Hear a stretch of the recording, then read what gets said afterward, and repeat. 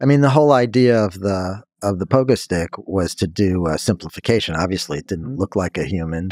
I think uh, a technical scientist could appreciate that we were capturing some of the things that are important in human locomotion without it looking uh, like it, without having a knee and ankle.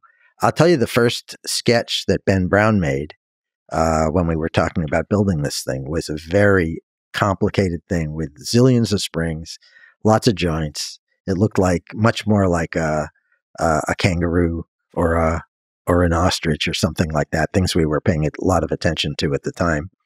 Um, you know, so my job was to uh, say, okay, well, let's do something simpler to get started, and maybe we'll get there at some point.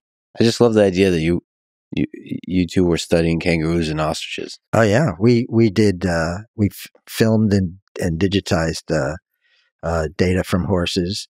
I di- I did a dissection of a ostrich at one point, which has absolutely remarkable legs. Dumb question: uh, Do ostriches have like mus- uh, mus- a lot of musculature on the legs, or no?